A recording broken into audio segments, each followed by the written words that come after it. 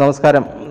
ഈ ആടുകൾക്ക് നമ്മൾ യൂട്രോവെറ്റ് അല്ലെങ്കിൽ എക്സാവർ പോലുള്ള യൂട്രസ് ക്ലീൻ ആകാൻ വേണ്ടിയിട്ടുള്ള മരുന്നുകളൊക്കെ വാങ്ങിച്ചു കൊടുക്കുമല്ലോ. ആടിന്റെ പ്രസവശേഷം. ഇപ്പം ചില ഗ്രൂപ്പുകളിലൊക്കെ നമ്മൾ കേൾക്കാം. ആട് പ്രസവിച്ച് മറവിള്ള പോയെങ്കിൽ പിന്നെ ഇതുപോലെയുള്ള കാര്യങ്ങളൊന്നും കൊടുക്കുകയൊന്നും വേണ്ട എന്നൊക്കെ ഞാൻ പല വോയിസുകളും പലരും കേട്ടിട്ടുണ്ട്. പക്ഷേ നമ്മൾ മനസ്സിലാക്കേണ്ട ഒരു കാര്യമുണ്ടല്ലോ. ഈ യൂട്രസ് ക്ലെൻസറായിട്ടുള്ള എക്സാബാറോ അല്ലെങ്കിൽ യൂട്രോവെറ്റ് അങ്ങനെയൊക്കെയുള്ള നമുക്ക് മാർക്കറ്റിൽ കിട്ടുന്ന പല മരുന്നുകളുണ്ടല്ലോ. ഇങ്ങനെയൊക്കെ കൊടുക്കുന്നത് ഇത് ഈ മറവിള്ള പോകാൻ വേണ്ടി മാത്രമാണോ? അല്ല എന്നുള്ളതാണ് എന്റെ വിശ്വാസം. അതുകൊണ്ടാണ് ഇങ്ങനെയുള്ള തെറ്റിദ്ധാരണകൾ വരുന്നത്. ഈ യൂട്രസ് ക്ലെൻസർ കൊടുക്കുന്നതുകൊണ്ടുള്ള ഗുണങ്ങൾ എന്തൊക്കെയാണെന്നറിയാമോ ഒന്ന് നമുക്കറിയാം മറവിള്ള പുറത്തു പോകാൻ വേണ്ടിയിട്ട് ഇത് ഉപയോഗിക്കാം. രണ്ടാമത്തത് ഗർഭപാത്രം ചുരുങ്ങാൻ വേണ്ടിയിട്ട് അത് സാധാരണ നിലയിലേക്ക് എത്താൻ വേണ്ടിയിട്ടാണ് ഈ യൂട്രസ് ക്ലിൻസർ ഉപയോഗിക്കുന്നതിന്റെ മറ്റൊരു ഗുണം. മൂന്നാമത്തെ ഒരു കാരണം ഇൻഫെക്ഷൻ ഉണ്ടായിരിക്കാൻ വേണ്ടി.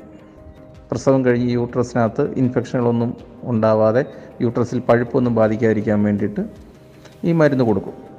നാലാമത്തത് പ്രസവത്തിന് ശേഷം പിന്നെ അടുത്തൊരു മതി കാലഘട്ടത്തിലേക്ക് ആട് വരാൻ വേണ്ടിയിട്ട് അതിന്റെ യൂട്രസിനെ പ്രാപ്തമാക്കുക.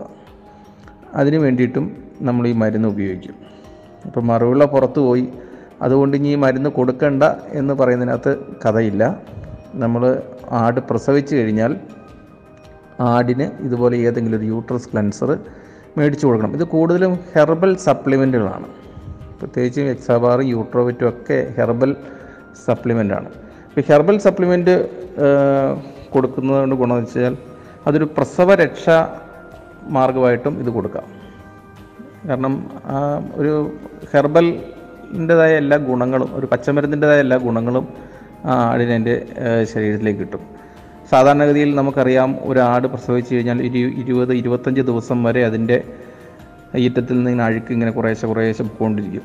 അപ്പം ഇങ്ങനെയൊക്കെ ഉള്ള ഈ സപ്ലിമെന്റുകൾ കൊടുത്തു കഴിയുമ്പം അതിന് ഗുണമെന്ന് വെച്ച് കഴിഞ്ഞാൽ അത് കുറച്ചും കൂടെയൊക്കെ വേഗത്തിലേക്കാവും. ആ യൂട്രസ് ക്ലീൻ ആകുന്ന രീതി അത് കുറച്ചുകൂടി വേഗത്തിലാക്കാൻ വേണ്ടിയിട്ടൊക്കെയാണ് ഈ സപ്ലിമെന്റുകളൊക്കെ കൊടുക്കുന്നത്.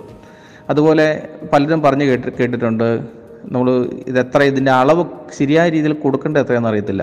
പലരും അഞ്ച് മില്ലി പത്ത് മില്ലി അങ്ങനെയൊക്കെ പറഞ്ഞ് ഗ്രൂപ്പുകളിലൊക്കെ പറഞ്ഞേക്കാം.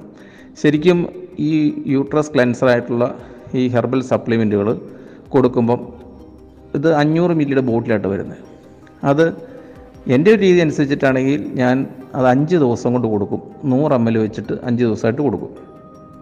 ഇനി അങ്ങനെ കൊടുക്കാൻ ഒരു പേടിയോ ഭയമോ ഒക്കെ ഉള്ളവരൊക്കെ ആണെങ്കിൽ ഒരു അമ്പത് മില്ലി വെച്ചിട്ട് അതൊരു പത്ത് ദിവസമായിട്ട് കൊടുക്കാം അതിൽ കുറച്ച് നമ്മൾ അഞ്ചും പത്തും മില്ലി ഒക്കെ വെച്ച് വെറുതെ നമ്മൾ കൊടുക്കുന്നതിനകത്ത് കഥയില്ല. നമ്മൾ കൊടുക്കേണ്ട കാര്യം അത് കൊടുക്കേണ്ട രീതിയിൽ തന്നെ കൊടുക്കണം എന്നുള്ള ഒരു അഭിപ്രായക്കാരനാണ് ഞാൻ.